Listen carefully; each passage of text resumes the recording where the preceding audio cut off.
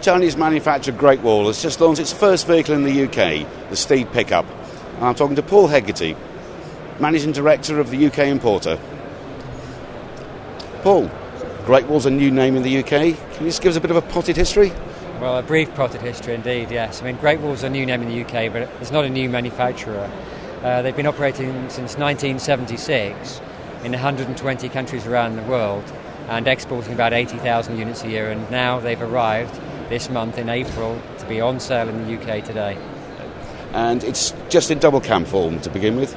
Initially, we're selling just a double cab. They come in two versions the Steed S at 13,998 CVOTR and the SE at 15,998 CVOTR. And what sort of specification do you get for the money? Well, they've all got, as we would say, industry leading specification, i.e., um, we may be the lowest priced double cab pickup in the market, but we're certainly not the lowest specified. So, standard, they have leather seats, which are heated to the front individually.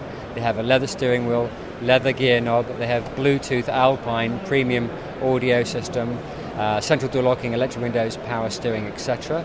And the SE adds a hard top, a load liner, rear parking sensors, chrome side bars, and just about everything you could expect on a, a, luxury pickup. So you haven't missed anything out by the sound of it? We don't think we've missed anything out, no. We don't think there's room for a, a version beyond SE, but the S, certainly customers can order other accessories if they like a commercial hardtop.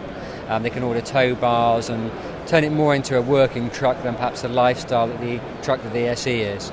Yeah. And it's obviously it's four-wheel drive. Is it uh, selectable on the move? It is, yes. It's four wheel drive. It's electrically selectable on the move at speeds of up to uh, 20 kilometres an hour from low, uh, high range to low. And if you, sorry, from high, uh, sorry, from, it is selectable um, on the move from uh, high range two wheel drive to high range four wheel drive. If you have to stop to go into high, sorry, low range four wheel drive, yes, you have to stop for that. Yeah, that's the same as all, all the competition, same as basically. a typical pickup, yeah. And is is the engine one of their own, or has it been brought in from somewhere else? No, we've we've been asked that question many times actually at the show. The engine is indeed their own. Um, uh, Great Wall engine is really powerful. It's a two litre, but it's more powerful and has more torque than most of our 2.5 litre competitors.